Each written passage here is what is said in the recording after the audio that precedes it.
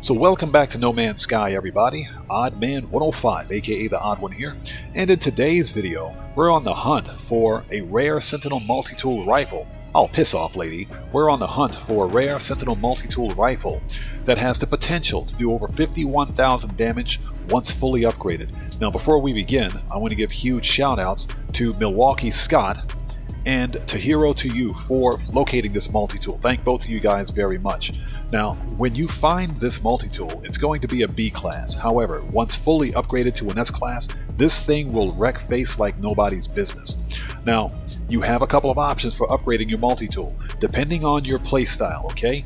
If you want to play this legit and you're looking for this multi-tool legit, then ensure that you have about 50,000 nanites to upgrade this thing from a B class to an S class, okay? However, if you only want the multi-tool as quickly as possible and you want it to do as much damage as quickly as possible and you don't want to be concerned with farming for nanites or making purchases, then you have the option to go into your difficulty settings and change all purchases to free. This is a legit gameplay mechanic in the game. If this is what you want to do. Again, if this suits your playstyle and you don't want to be bothered with purchases and farming or anything like that, so let's back out of here. We're not going to accept changes. Now the very first thing that you need to do before stepping through a portal is disable your multiplayer and set your session type to invite only. This way no other player can come in from behind and steal the multi-tool from you, okay? Because once it's gone, it's going to be gone for a while. Next, you want to create a manual restore point just in case something goes wrong. The game has been known to crash when players travel through portals, so something else to keep in mind. Next, enter the glyphs on screen right now into any portal.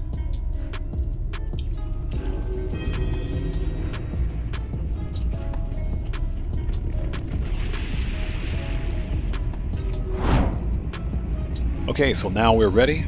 See you on the other side.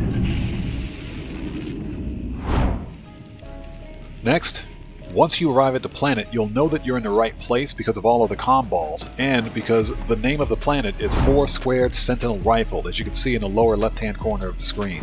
Now, what we want to do is get on our ship and fly to the coordinates.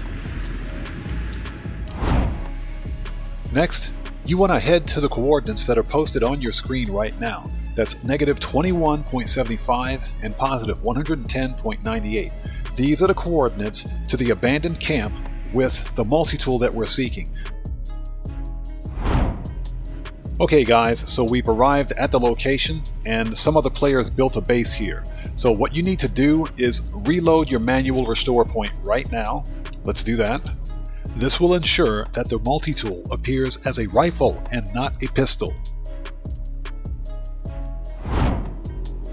Okay guys, now this next step is kind of important you do have the option of removing a player base if, and this is if, the base is impeding your ability to access either the multi-tool or the harmonic interface needed to break the seal for the multi-tool.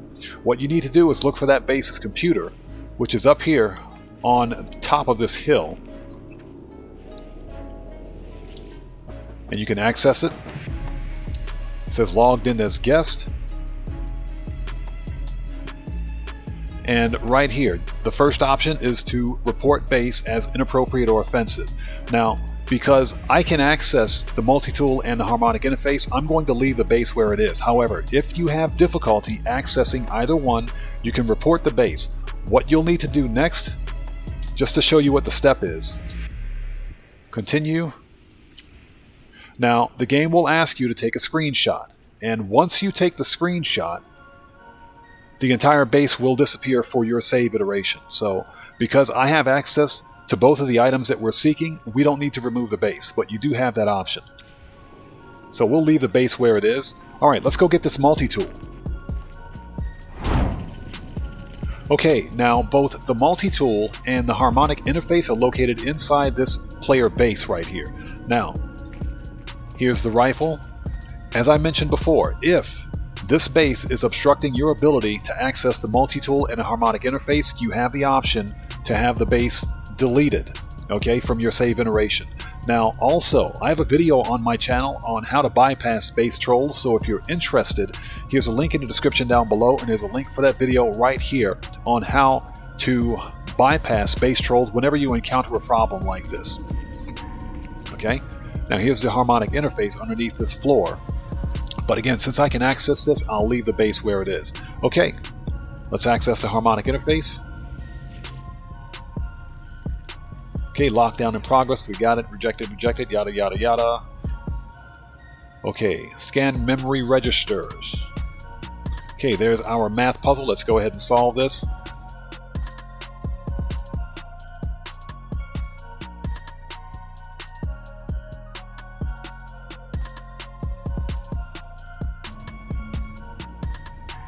Okay, so the seal has been broken.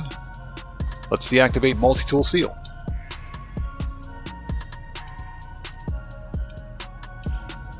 And that's it.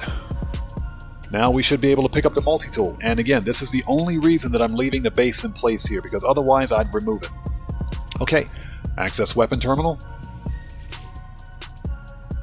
And there it is. Look at that cool rifle. Now, as I mentioned, this is a B class, but as you can see, two of its supercharged slots are grouped together. Once we fully upgrade this thing, okay, You'll see all four supercharged slots in a cube formation. This thing will absolutely wreck face, so let's compare it. Okay, and we want to take this multi-tool for free because either way it's better than what we've got. So yes please, we'll take it. Alright, so now we have this cool Sentinel rifle. Awesome. Okay, so we've arrived at the multi-tool vendor at a random space station and we've just completed upgrading our multi-tool. Now remember, to upgrade multi-tools, you must be at a normal space station. This cannot be done from an outlaw station. So as you guys can see, we now have a fully upgraded S-Class Sentinel multi-tool with all four of its supercharged slots grouped together in a cube form. This will give us the highest possible damage potential of any multi-tool in the game, hands down.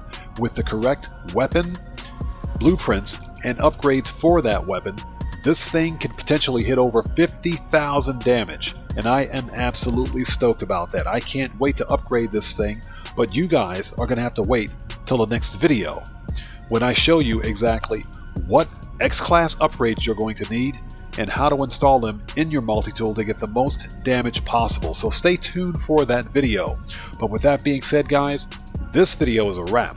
I've been Oddman105, aka The Odd One, bringing you one more tutorial on finding what is possibly the best multi-tool in No Man's Sky. Hands down, full stop, end of discussion. So if you guys found this video informative or entertaining, then you know what to do. Smash that subscriber button, hit that bell icon, leave a like or two, and don't forget to check me out on Twitter at Oddman105. And I will see you guys when I see you guys in the next video. Please stay safe and remember, don't just start the fire, bring the smoke, and take care out there.